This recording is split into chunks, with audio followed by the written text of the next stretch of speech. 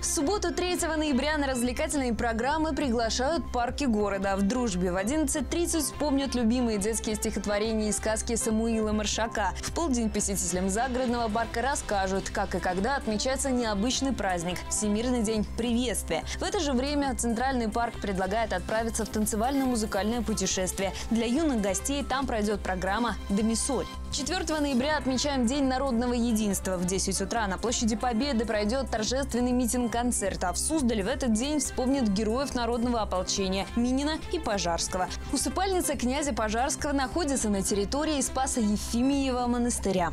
3 и 4 ноября Владимирская область присоединится к всероссийской акции «Ночь искусств». В этом году она проходит под девизом «Искусство объединяет». В рамках акции специальные вечерние программы подготовили музеи, библиотеки и концертные площадки Владимира и области. Так, уже 3 ноября в городском дворце культуры пройдет литературное представление от артистов театра-студии «Новая сцена». Оно называется «Сказки, рассказанные ночью». Начало в 20.30. Приглашаются все желающие.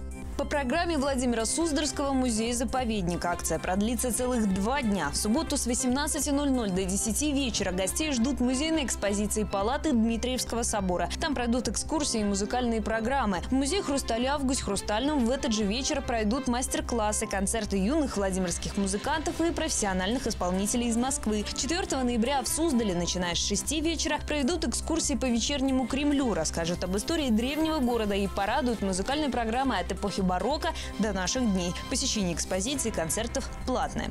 4 ноября с 6 до 10 вечера бесплатно можно будет посетить экспозиции Центра пропаганды изобразительного искусства. Организаторы обещают, что в выставочных залах объединятся живопись, декоративно-прикладное искусство, кинематограф, театр и музыка. Гостей ждут сразу два концерта, кинопоказ документального фильма и даже моноспектакль. Двери корпуса областной библиотеки для детей и молодежи на проспекте Строителей 23 тоже не закроются до глубокой ночи. Посетители ждут концерты, мастер-классы по рисованию, хореографии, фотоискусству, а также литературные шарады, игры и экскурсии. Кроме того, в библиотеке откроется виниловая комната, где меломаны смогут послушать хорошую музыку.